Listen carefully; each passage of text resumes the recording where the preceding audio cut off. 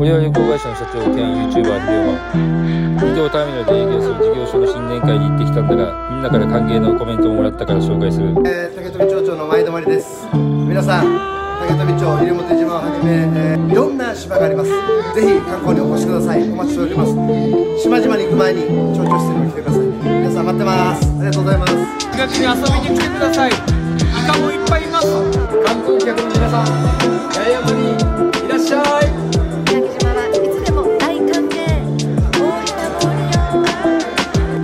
スタッフのみんな歓迎してるぞ